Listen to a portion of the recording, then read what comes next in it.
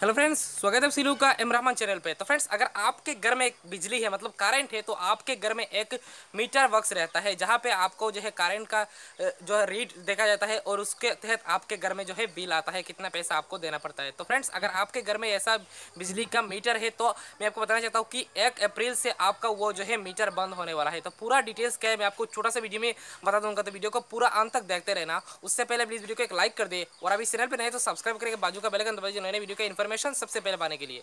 तो चलिए जान लेते हैं।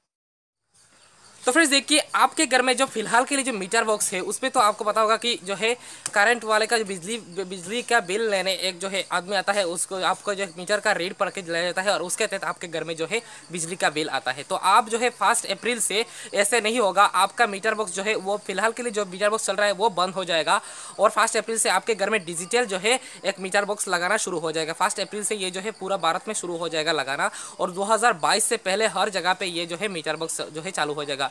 इसमें क्या होगा कि आपके घर में जब आप जो है, आपको जो है टीवी टेलीविज़न या मोबाइल के जैसे आपको बिल देना पड़ता है, ऐसे ही करंट का बिल दोगे। जब आप बिल पे करोगे तो अब आपका जो है करंट आएगा। ऐसे महीने महीने आपको जो है बिल पे करना पड़ेगा। ऐसे आपके मोबाइल का मोबाइल में एसएमएस आएगा इतना महीने, इस महीने में आपका इतना जो है बिजली का बिल हुआ है, ऐसे ही आपको जो है पे करना पड़ेगा। तो फ़र्स्ट अप्रैल से जो है, ये स्टार्ट होना, जो है शुरू होना स्टार्ट हो जाएगा। आपके घर में भी ये जो है लग जाएगा।